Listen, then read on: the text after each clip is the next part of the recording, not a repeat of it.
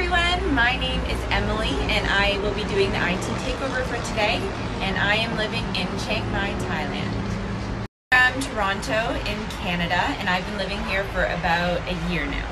Um, it's pretty early in the morning so I'm just getting ready to go to work.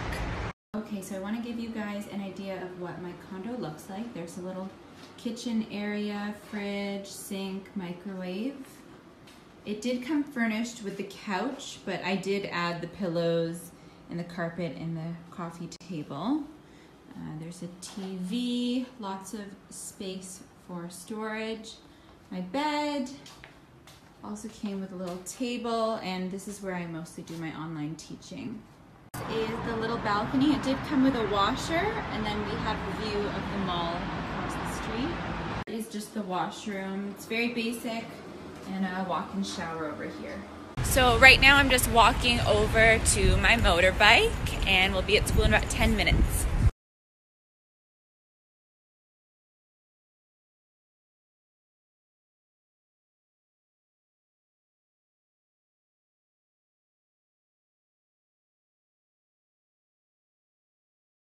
Okay, so I am just walking to my first class of the day and I'm going to teach nursery.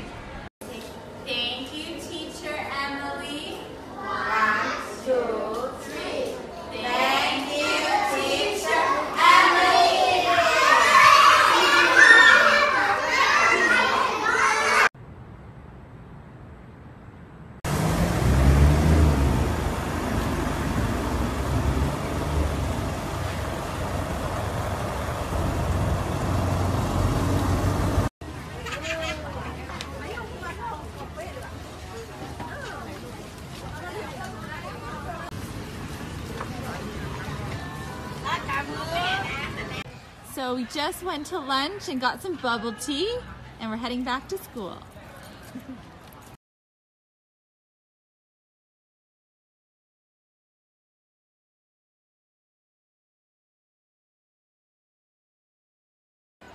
Okay, so I am done class for the day. We're just going to clock out right now and then I'm gonna drive over to the old city and show you guys around.